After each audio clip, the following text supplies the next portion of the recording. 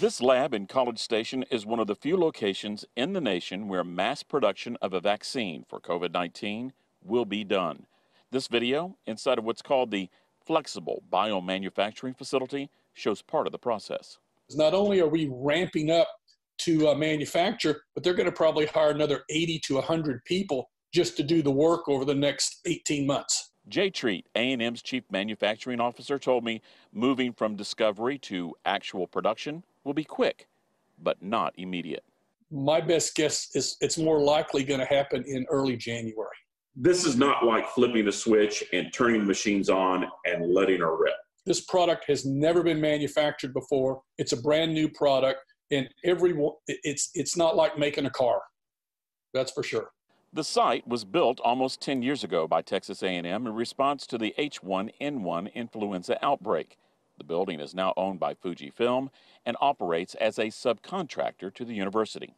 Well, we always knew this day was coming. And University Chancellor John Sharp also knows, with the mission now here, there will be a lot of scrutiny. That we may well be the place that, that uh, mass produces the vaccine that saves, you know, hundreds of thousands of lives around the world. We're, we're, we're very proud of that.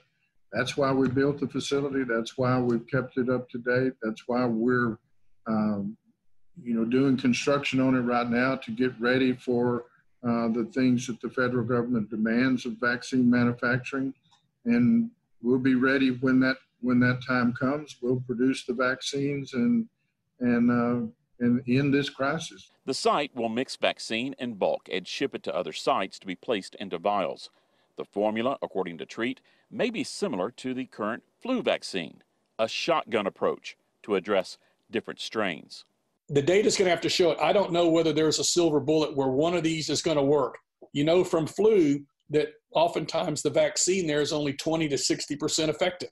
The A&M team is aware of reports that Russia has approved a vaccine without completing testing protocols and aware of the pressure to get it right.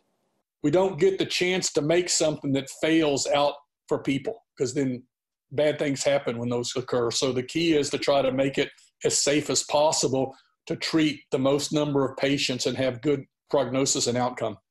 In College Station, Rudy Koski, Fox 7 Austin News.